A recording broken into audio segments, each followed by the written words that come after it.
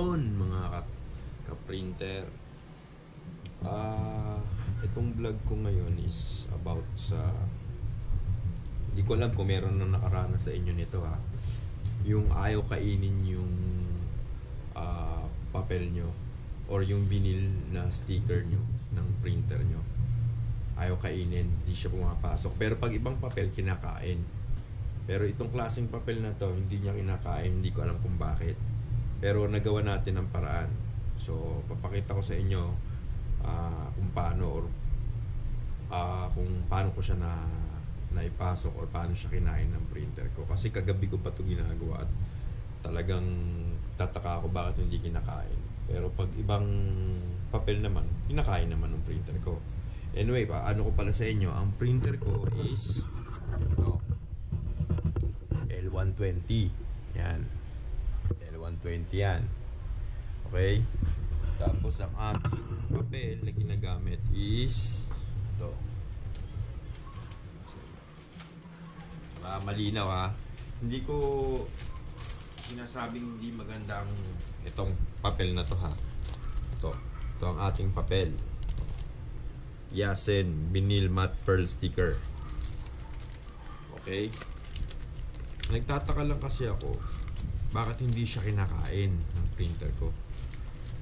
So, okay. Anuhan natin. Papakita ko sa inyo. Okay, papakita ko kayo ng sample. Ito, hindi ako nagsasabing eksperto ha. Base lang to sa karanasan ko at nangyari sa akin. So, hindi ko alam kung sa iba nakaranas na kayo nito. So, kung nakaranas na kayo nito, okay. Pero doon sa mga bago na nag-ano pa lang ng printing, isisimula pa lang. Ito baka pwedeng maging makatulong or solusyon problema nyo. Okay? Basta papakita ko sa inyo kung paano. Pakikita ko muna yung sample. Okay? Para makita nyo na tingnan nyo kung kakainin siya. Okay, pakita ko. Kita nyo, ito. Ito yung papel.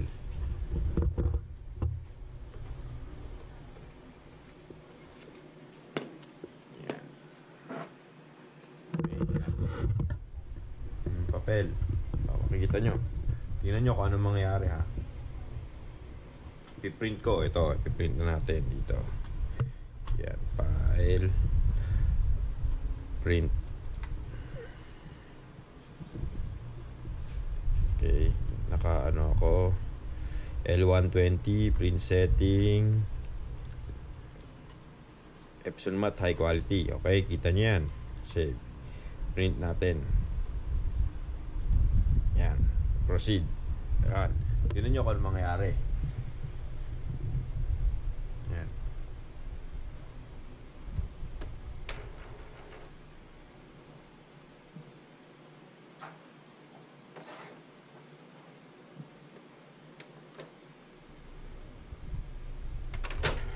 Oh, see? Ayaw kainin, di ba? Oh. Ayaw kainin. Di ba? Ayaw kainin yan. O, tapos nag-red na siya. Nag, eh, ano na yung double, ano na, ilaw na yan. Okay? Ayaw kainin yan. Okay? O, ulit ko ulit. Pakita ko sa inyo. Para, ano tayo dyan. Yan. Press ko lang yan. Oh. See? Ayaw kainin. Oh. Ayaw. So, anong problema? Actually, hindi ko rin alam problema niya bakit ganun. Ayaw kainin. So, yun. Di ba ayaw kainin? Oh. Is- Ga- Subok pa tayo ng isa para maniwala kayo. Ayan. Isa pa. Ayun, ulit.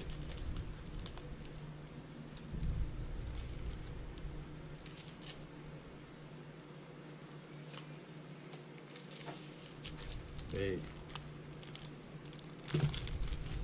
Ito. So ulit. Kakukuha ko lang. Oh. Lagyan natin ulit. Ito sa ating printer. Okay. Yan. Okay. Print. Yan, piniprint ko ulit. Oh, ayaw pa rin. Di ba? Ayaw. O, ayaw. Isa pa. Para makita nyo. Ayaw. Hmm. Ayaw pa rin. Tapos tumutunog lang yung printer ng isang beep. Kumaganon lang, di ba? So, ayaw. So, anong problema? So, ito, na, is, na, ano ko siya. Ayan. Ngayon, ginawa ko siya ng solusyon. Di ba? Ginawa ko ng solusyon. Ayan, dito tayo. Tayo. Ayan guys. Tignan nyo ha. Ayan. Ayan. dito.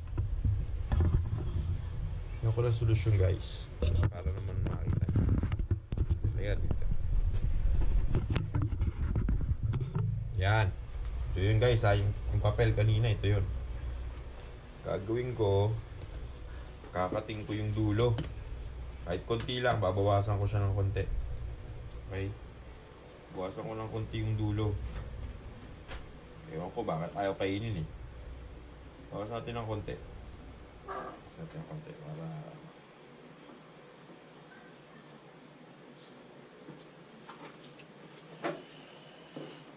Yan. Guys, ito. Binawasan ko ng konti, kapiranggot. Konti lang, siguro mga 1 mm. Ah, 2 mm sabihin mo na. O, mga 2 mm. 2 mm, binawasan ko lang. So ngayon, yung dulo na yan, yung kinat natin na yan, yung ngayon ipapasok natin dito sa printer. Ha? Yan natin ha. Ayan. Yan. Yan. Pasok ko na siya dyan. Pasok ko na, di ba? Ngayon, press natin to. Tingnan natin kung kakainin. Oh, see? Di ba? Ina, ina. Oh, yan. Nag-print na siya. Oh. Okay? Yan, yan yung sinasabi ko. Baka yung iba hindi pa na-experience, so, so baka makatulong. Oh, yan. Kita nyo. So, ayan. Yan, nag-print na siya.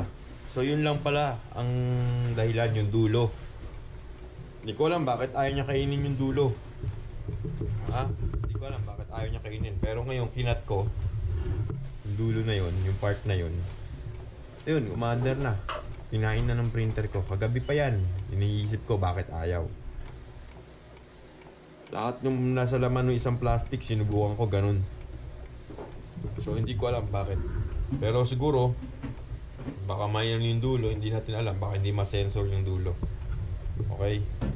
So, ayan. Tinatapos na natin yan. Oh, hintayin na lang natin. Oh, di ba? Hmm. So, sana yung ganong proseso eh makatulong sa mga baguhan at huwag matakot na ah, subukan. Mamaya, baka idalin ka yung printer sa pagawaan eh. Hindi naman pala sila. Sayang lang. Baka gumasos ka lang. At least yan, alam mo na ganun lang. Sa baka sa papel lang. So lahat siguro ng papel, pwede yun, ganun. Na pag ayaw kainin. Kasi sinusubukan ko sa ibang papel, okay naman siya. Pero dito sa papel na to, ayaw talaga. Sinubukan ko na siya. Sa buong plastic na yan, laman ng plastic na yan. Ayaw niya kainin. So ayun. Nakita mo naman, nagpiprint na. O, okay. So mga ka-printers, yun lang po. Sana may natutunan kayo sa ating vlog for today. So, medyo busy lang kayo tayo makapag-vlog. Eh. So, yun lang. Sana makatulong sa mga baguhan dyan. So, comment down lang kayo sa mga hindi pa nakakasubscribe sa akin dyan. Subscribe lang kayo. Click nyo lang yung subscribe button. Like. And share na rin. At yung notification bell, huwag nyo kakalimutan. Para updated kayo sa lahat ng aking bagong videos. Okay guys? So ito na, tinatapos lang natin. Papakita ko sa inyo hanggang finish product. Yan. Sticker to eh. Shout out pala sa Bantay Bayan. So, member din tayo niyan. So, sila yung nagpapagawa sa atin ng sticker. Okay? So, malapit na. Ayan. Tignan nyo. Yan, malapit na. Hindi na lang. O, di ba kinain na yung papel? Hindi na lang.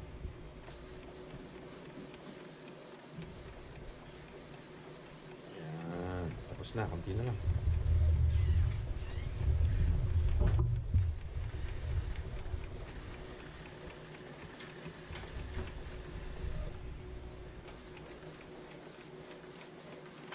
Yun. O, di ba? Tapos, Okay, yun na. So, yun lang guys. At least nagkaroon tayo ng bagong natutunan ngayong gabi. Okay.